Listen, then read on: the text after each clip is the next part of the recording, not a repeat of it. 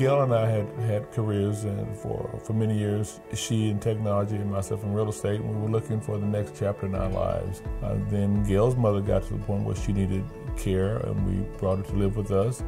Eventually, she needed care while we were away, and we had the same problems trying to find good professional people we could trust who could engage with my mother-in-law. Uh, so it gave us a, a, clue about an area where there was a, a gap, a needs gap.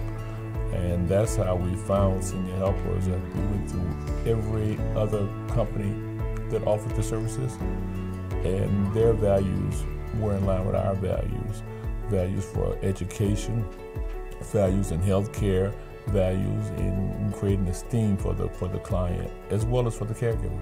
We believe in also community education. One of our clients said it takes a community to, to take care of a senior, and it does, but it's all about educating everyone. Um, you know, really educating people what dementia is all about, how you can remain in your home. Uh, what are your options? A lot of people want to age in place, so what does that look like?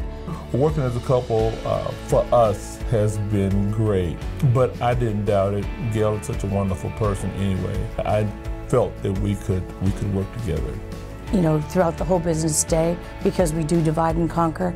Uh, Dwight goes his way during the day, I go mine. But the great part about it is we're back together at the end of the day, and it's allowed us to really be able to to grow our business. Every day, we know that we're impacting someone's life, giving them independence, helping them live a full life. We're impacting their family, um, and we're also impacting our, our caregivers. We're giving them an opportunity to learn, earn a, a good wage to work for a company that values them and their family and give them a career path. It was mentioned oftentimes during training the value of the caregiver and thus they create all these training opportunities for the caregivers, for the internal staff, and for us, because some of the training is to help us become better managers to manage our people well, you know, to help them to help provide opportunities for them. Uh, that was what separated senior helpers by a great margin.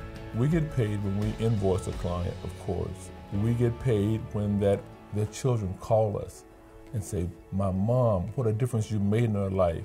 She has energy now. She's excited about every day. We get paid also when those same children tell us, Now I can be with my children and take care of my husband or my wife. And we get paid when the client, when the senior lets us know that we made a difference in their lives. So we get paid three times.